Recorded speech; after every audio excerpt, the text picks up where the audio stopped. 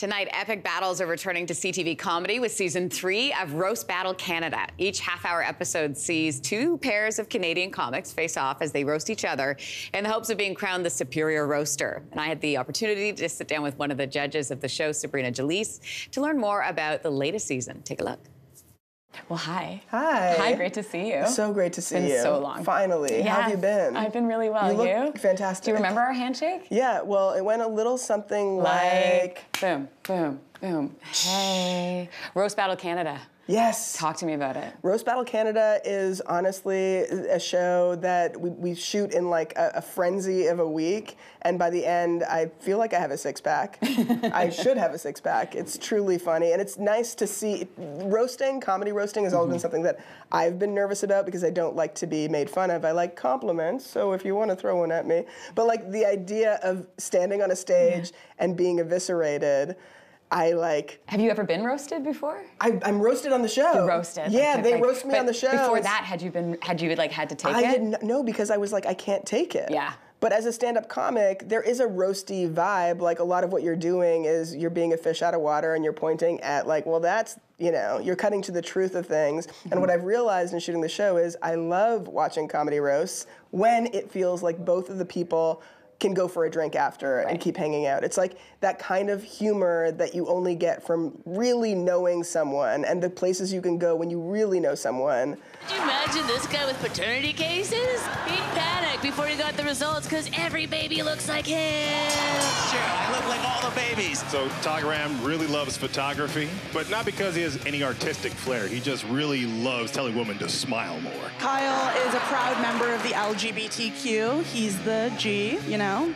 Gross. I have the perfect drag name for you Anita Nose Job. Is there a line? There's definitely a line. And how and do you know where that line is?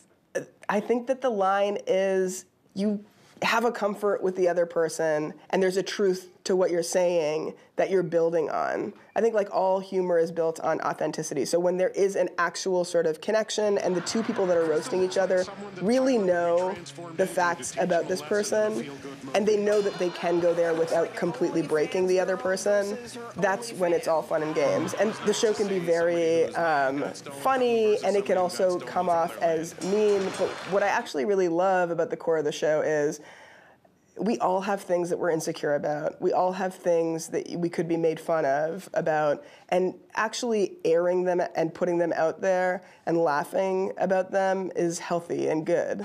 You look like Mowgli from the Jungle Book grew up and got arrested for stealing at H&M. Cassie boasts that she's never gotten COVID.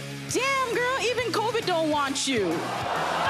You look like if the ugliest member of every boy band got together and formed a super group called Friend Zone. Are there conversations ahead of time about what the content's going to be?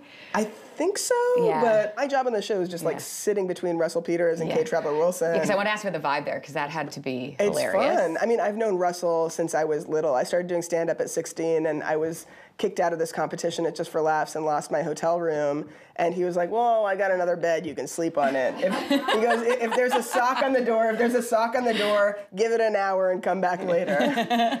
I've known him for a long time. Yeah, I've known him for a while. So it's nice to be working with him, and it's a, yeah, it's a it's a joy to also get to discover all these comedians because I've been living in the U.S. now for you know about 15, 16 years. Mm-hmm. So it's nice to come back and have this curated sort of lineup of comics that are sort of the ones to watch here in Canada. Because you've been out of the country for so long, what's it like to come back? I know your family's here. It's so nice. Yeah. Yeah. Leaving the States and coming back to Canada, it's like taking your feet out of a blender and putting them in a foot bath. Oh, what a nice visual. At least politically. Unless it's the winter, then it's like yeah. the foot bath is over then in you're, LA. Then you're gone. Yeah, you're my dad is like, oh, I don't know why you live there. It's such a bad place. But we'll be there from January to March. okay? You get lots of visitors, family? Yeah, yeah well, when things get cold here, they start loving America. Yeah, I bet. I bet. Yeah. Well, it's so good to see you again. Ready? Here it is. Bring it home. Sup, Drew. Thank you. All right, watch season three of Roast Battle Canada tonight. That's happening at 10:30 p.m. Eastern on CTV Comedy. Hey, thanks for watching. If you liked this, be sure to subscribe here, or you can check out more Your Morning videos right here.